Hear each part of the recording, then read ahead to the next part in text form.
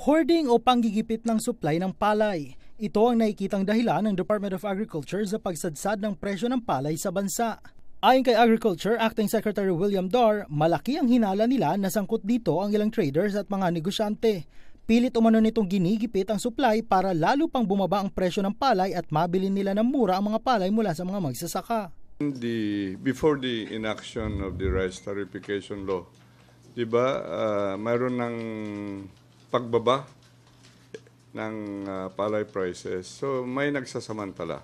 Kaya naman nangako ngayon ang ahensya na gagawin ng gobyerno ang lahat para tukuyin at maparusahan ang sino mang mapapatunayang sangkot dito. It that we will apply the full force of the law on uh, hoarding if we feel there will be hoard, hoarding. Batay sa pinakahuling datos, sumadsad na ang presyo ng palay na umabot na lang sa 7 pesos kada kilo kumpara sa 17 hanggang 20 pesos kada kilo noong 2018.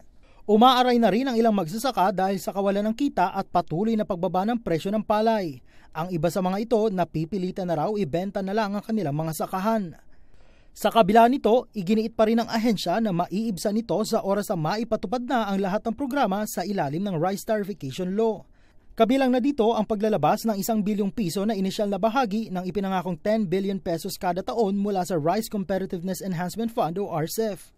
We are happy that this law has come and while there are bird pangs uh, over time, I believe this will help again the, the rice farmers become more productive, more competitive, and more uh, prosperous at the end of the day.